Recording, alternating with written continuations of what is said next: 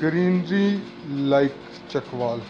ये चकवाल में पाई जाने में लाताज झीलों में से एक इंतहाई खूबसूरत और बहुत वसी और जंगल में फैली हुई एक झील है, जिसको आज से छः साल पहले यासीन चौधरी साहब उनकी टीम ने दरियाफ़्त किया।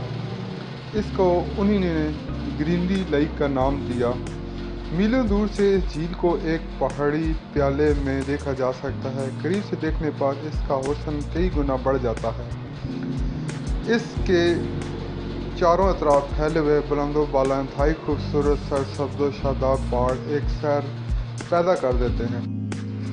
ये झील कलकार से बमुश्किल 15 से 20 किलोमीटर की मुसाफत पर पुचाल से लिल्ला रोड पर मार्टन गाँव के करीब वाक़ है।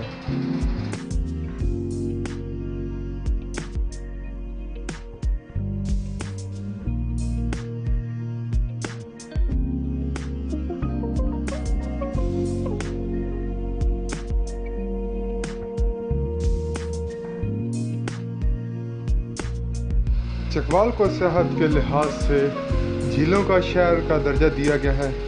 गवर्नमेंट ऑफ़ पंजाब, उस्मान बजदार की हुकूमत में से सूबाई वज़ीर यासर हमायूं सरफराज की ज़र साया झीलों को शहर में लाताद ऐसी खूबसूरत झीलें हैं, जो लोगों को अपनी तरफ़ मतवजा करती हैं। यासीन चौधरी साहब का इंतहाई ऐसा निकाम है कि उन्होंने गवर्नमेंट पंजाब से मिलकर चकवाल को झीलों शहर बनाने में अहम किरदार अदा किया।